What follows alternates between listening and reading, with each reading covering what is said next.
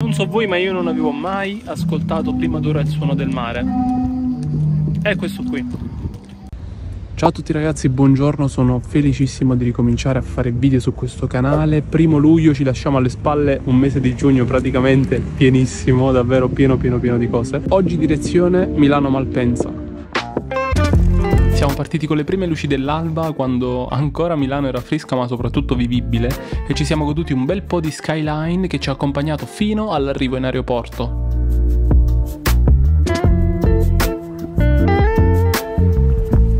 Siamo arrivati a Milano Malpensa, colazioncina, cornetto alla Nutella, caffettino americano e si parte. Non so voi, ma è bellissimo quando si riesce ad arrivare un po' prima in aeroporto e fare le cose con tutta la calma del mondo.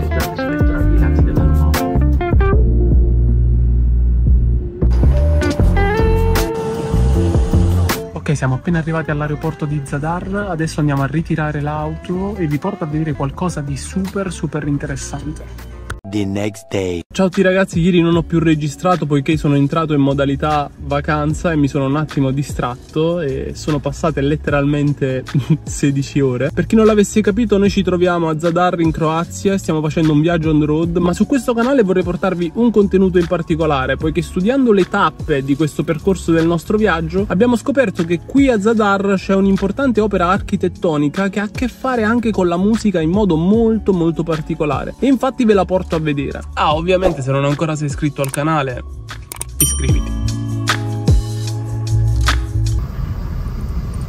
Ci sono letteralmente, non so, 37-40 gradi e ho trovato un posto all'ombra tranquillo in cui raccontarvi un po' il senso di questo video.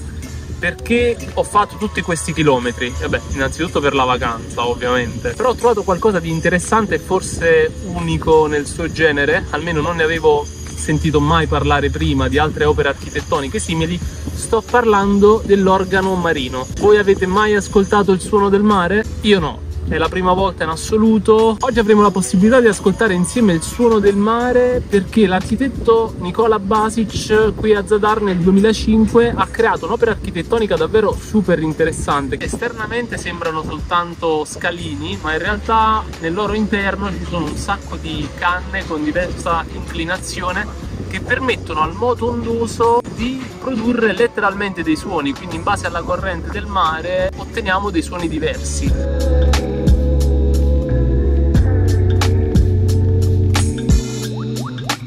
Eccoci qua, siamo arrivati, il suono del mare è letteralmente questo, ovviamente cambia in base al moto ondoso, come potete vedere oggi è abbastanza calmo.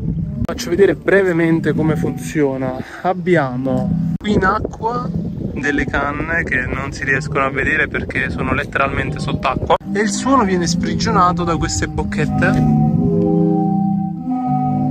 Qui ci sono anche delle feritoie in cui viene sprigionata dell'aria e delle vibrazioni, davvero particolare. E qui c'è lo stemma. L'organo marino è stato realizzato per recuperare l'area costiera di Zara, che era stata fortemente danneggiata nel corso della seconda guerra mondiale e mai riqualificata.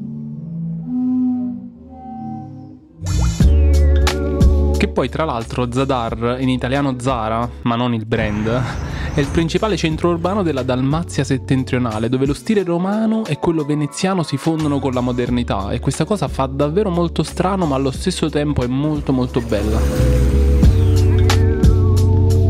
Adesso vi farò ascoltare un po' il suono del mare in solitaria, quindi vi consiglio di mettere le cuffie proprio per capire la bellezza di questo suono e lo utilizzerò sicuramente in qualche brano, poi vi dirò un'altra super chicca.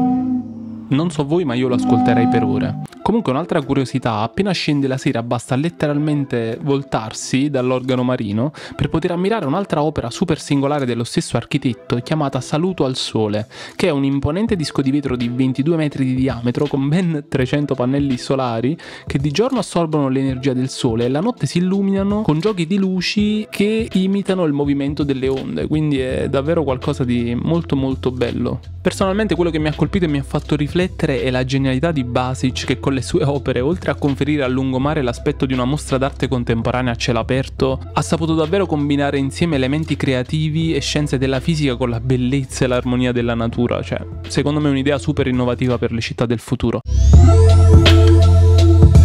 Che dire ragazzi, io vi ringrazio per aver guardato il video fino alla fine, noi ci vediamo molto presto e se non ancora siete iscritti al canale mi raccomando cliccate il pulsante qui sotto.